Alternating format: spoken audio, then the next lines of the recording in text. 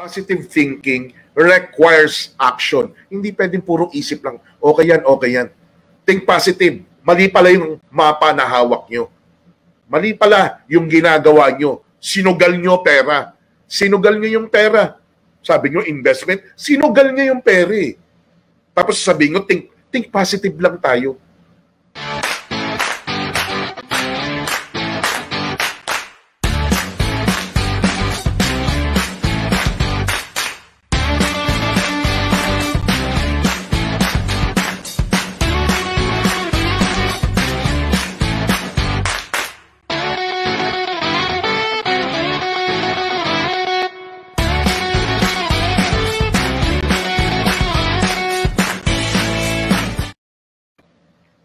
Welcome back. Welcome back. Welcome back to uh, uh, Peaceabilities here in CBRC.tv. Arman Benko po, your host from Colico Foundation and KSK SMP Co-op. Let's continue on.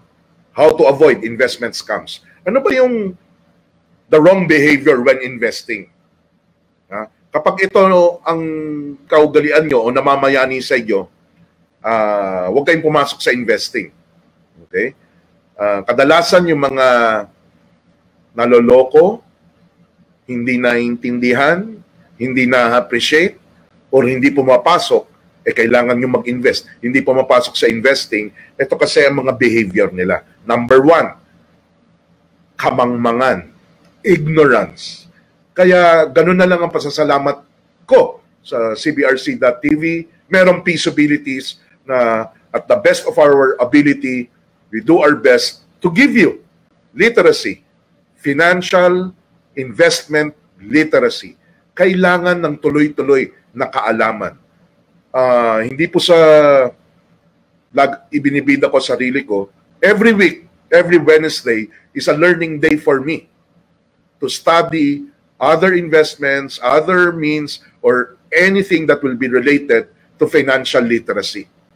Hindi po yan lakasan lang ng loob or uh, kung uh, thinking positive or kung ano man yung uh, uh, mga nababasa natin mga motherhood statement. You have to pay your dues. Learn, learn, learn, study, study, study, read, read, read. Pangalawa, na maling behavior. Fear. Lalo na kapag narinig nga yung salitang oh, risk. Lalo na kapag nalaman nila, uy, marami palang scammer. Natatakot na pangsagot sa fear is hindi basta lakas loob. Yung number one, yung nandyan, ignorance. Langyan nyo ng literacy. Dagdagan nyo ng experience. Do not fear losing or making a mistake. Because mistakes or failures can be just temporary if you turn them into lessons. Okay? Now, may kaalaman, o nasagot yung ignorance.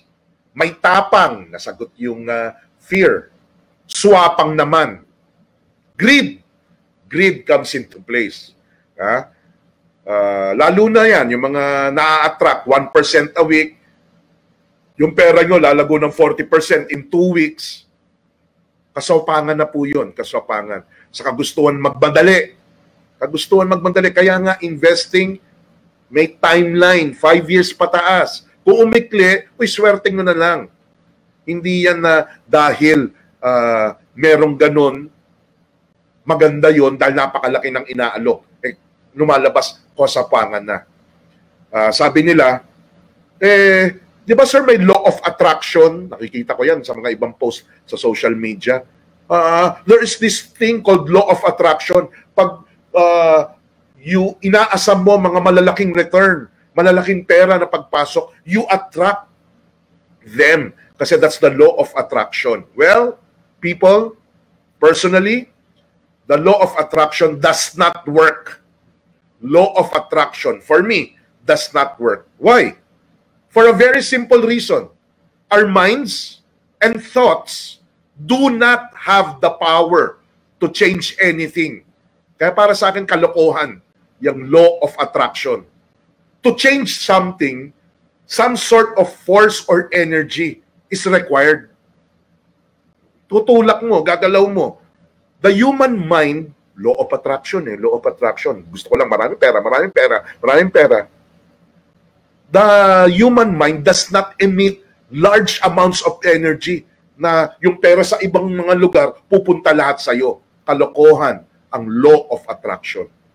Our minds and thoughts do not have the power to change anything. Panghuli, hope. Hope is a virtue, sabi sa Bible. But too much dependence on hope, sobrang umaasa sa pag-asa, eh, mali na po yan. Ha? Sabi pa nung iba, sabi pa nung iba, hindi, basta think positive lang. Think positive lang. Para sa akin, there are two major reasons why positive thinking is not enough. Okay yung think positive, pero it's not enough. Not enough. You have to take some action. Huh? Uh, the first reason kaya hindi enough ang positive thinking. Happy thoughts, nasa ibabaw lang yan. Pero sa ilalim baka talagang nalulungkot, takot na takot, nangangamba. At yung nasabi ko na, positive thinking requires action. Hindi pwedeng puro isip lang, okay yan, okay yan. Think positive. Mali pala yung mapa na hawak nyo. Mali pala yung ginagawa nyo. Sinugal nyo pera. Sinugal nyo yung pera. Sabi nyo, investment. Sinugal nyo yung pera eh. Tapos sabi nyo, think, think positive lang tayo. Sinugal nyo eh. Okay? So, iba ang investing sa gambling. Now, due diligence before investing. Ano ba dapat ginagawa nyo bago kayo mag-invest? Yung due diligence. Ha? Three questions that you have to address. Number one, ha? who is the one offering? Eh, alamin nyo naman po sino yung nag, nag-aalok. Ano pangalan ng kumpanya? Sino yung mga tao sa likod? Meron bang physical address yan? Meron bang validated, validated na na-check nyo? Yung mga contact details, telephone number, email. Kung malaking investment company yan, walang physical address naman. Di ba? Tapos, hanapin nyo, tingnan nyo yung track record. Track record nung nag-aalok ng investment. Ha? Hindi pwedeng, iba kasi, greed, nakita lang malaki yung alok, malaki yung pwedeng kitain, yun daw yung magandang investment. Sabi pa ng mga iba, uh, habang hindi pa nila natatanggap na na-scam sila, na natakbo na yung pera nila, bakit ba ayaw nyo kami pakitain ng malaki? Eh, doesn't make sense na kasi. Walang track record. Sino yung mga tao sa likod niyan? Ni hindi nyo alam kung saan mapupuntahan. Oh, di ba? Pangalawa, who is the regulator? Kadalasan, if not all the time, merong government agency that looks after tayo, investors, and bumabantay at gumagabay doon sa investment offeror or doon sa kumpanya. Ha? Uh, the following government agencies, Securities and Exchange Commission, Bangko Sentral ng Pilipinas, Insurance Commission, DTI. O, kadalasan, yan yung uh, uh, pinupuntahan, dyan kay dumudulog kung uh, merong kayong uh, gusto humingi ng tulong or gabay tungkol sa investment. Pero pa palang isa, hindi ko nalagay, Cooperative Development Authority. Pag cooperatives, katulad ng KSK SMP Co-op, hindi po siya SEC, CDA siya, Cooperative Development Authority. Pag bangko siya o eh, may kinalaman sa pautang, Bangko Sentral ng Pilipinas. Kapag may kinalaman sa insurance, uh, pinapangako na proteksyon, Insurance Commission po yun. Mutual funds, uh, uh, pag minsan VUL, and mga investment houses, Securities and Exchange Commission po yan. Okay?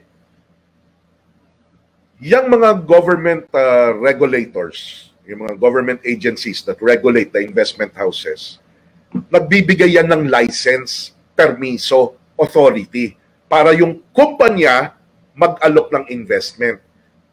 Iba po yun sa SEC registration. Yung iba kasi akala nila pag pinakita ng SEC registration, birth certificate lang po yun na yung kumpanya ay na-register. Pero hindi ibig sabihin may authority or pinapayagan o lisensyado yung kumpanya mag-alok, mag-solicit ng investment. Yung produkto ng kumpanya, nire-register din po yun. Yung tao, yung empleyado, yung agent ng kumpanya na nag-aalok ng lisensyadong produkto, lisensyado din po yung tao. Kaya kadalasan yung mga insurance agent, di ba? Uh, tawag nga sa kanila daw financial advisor.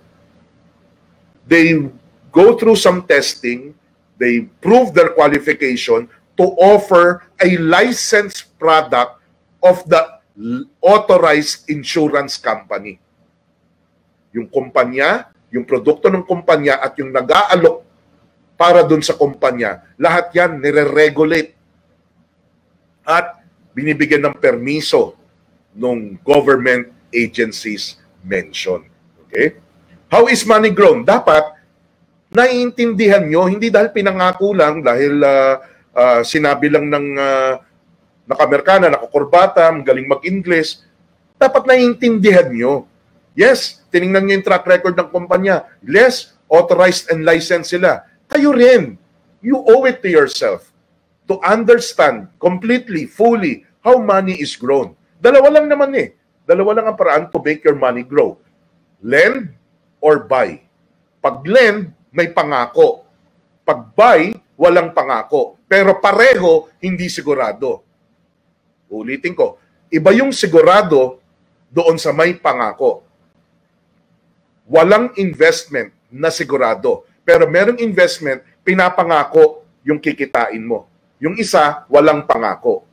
Dahil pinangako na sa iyo, yung kikitain mo, low risk kumpara doon sa hindi pinapangako, ang laki ng risk. Oh, low risk, low return. Doon sa walang pangako, mataas ang risk, mataas ang potential na iyong kikitain. Okay? Doon sa isa, ang ginawa mo, nagpautang ka. Kaya ang benepisyo sa iyo, yung kita, tawag interest.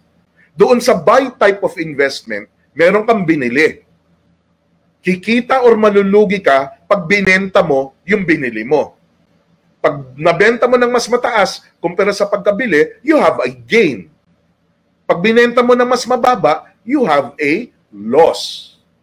Parehong nasusukat by percentage. Percentage interest, per percentage gain. Kaya medyo nakakalito. Pero ang difference, uh, dif, uh, pagkakaiba nila, yung isa pinapangako, yung isa hindi. Okay? Yung mga available sa atin, yung mga alam nyo na. Basta may deposit kayo sa bangko, ang ginawa nyo talaga, nagpautang kayo sa bangko. Pwede kayo magpautang sa pamahalaan ng Republika ng Pilipinas, government securities ang tawag doon. Pwede kayo magpaalam, magpautang sa mga malalaking kumpanya, the Ayalas, the Meralcos, the Aboitises, yung mga malalaki na kumpanya. Pwede ho kayo magpautang doon. Yung buy type of investment, tawag nila dyan pag minsan equity type, ayan, stock market. Pooled funds, tulad ng mutual funds, UITFs. Yung pooled funds, nagbabakas-bakas kayo. Tapos yung fund manager, siya ang pinapa-buy and sell nyo sa stock market. Uh, and if lupa, bumili kayo ng lupa, sabi nga tataas ang presyo ng uh, real estate. Uh, pagtapos ng 5, 10 years, baka dumoble na presyo nito, baka hindi mapapangako sa iyo yon. So that's a form of uh, buy type of investment. Kahit anong negosyo na inyong papasukin, kahit anong negosyo, mula karinderya to a IT company to a manufacturing uh, entity, buy type of investment yan. Buy type. Cryptocurrencies, Bitcoin na nabanggit ko. Uh, for now, the legit, simple way of getting into cryptocurrency is by way of buy type of investments. Bitcoin trading, cryptocurrency trading, I do not get into that. Personally. Kung kayo gusto nyo pumasok, bahala kayo, pero I discourage you to get into it. Okay? Anong maaasahan nyo? Because you are only expecting. Maaasahan nyo na returns kapag pautang, lend type, or buy type. Ayan po, nakikita nyo sa slides. Bank deposits natin, sa malaking bangko, 0.2. Pag umutang ang pamahalaan sa atin, 2% to 4%.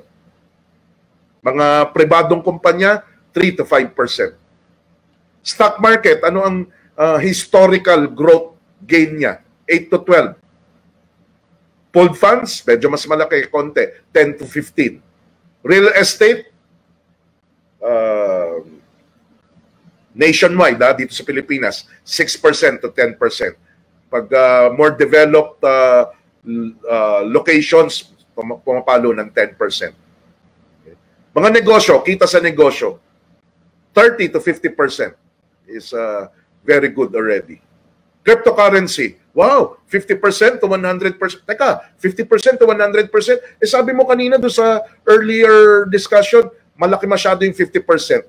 A year po yan, in a year. Yung pag inalok kayo ng 1% a week, 10% a week, 10% a month, yun po yung nakakatakot. Lahat po ng mga pinapakita ko dyan, in a year, in 12 months. Okay? In 12 months. Kapag may pangako, pag lumagpas ng 10%, magduda na kayo. Magduda na kayo. Okay? Napakataas na nga yan ngayon eh, sa panahon ngayon. Basta pinangako, ibig sabihin nagpautang kayo. An interest of 10% nakikitain nyo daw sa ganong investment, magduda na po kayo. 9% below ang uh, acceptable. In a year. Uh, in a year. Walang kasiguraduhan ang kahit anong investment. Nilagay nyo sa bangko, kala nyo safe na safe. This year, this year, halos dalawampo ang nanganganib. Tatlo, sinara na nila. Last year, dahil pandemic, uh, hindi nila tinuloy-tuloy. Pero Feb January to March 2020, limang bangko na ang sinara nila noon.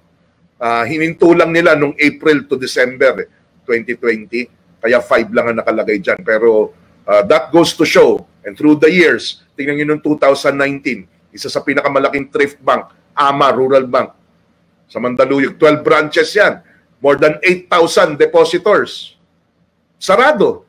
Oh, kala nyo ba uh, basta bangko, sigurado, walang siguradong investments. Mga corporate bonds, ano yung corporate bonds? Nakalagay dyan, called.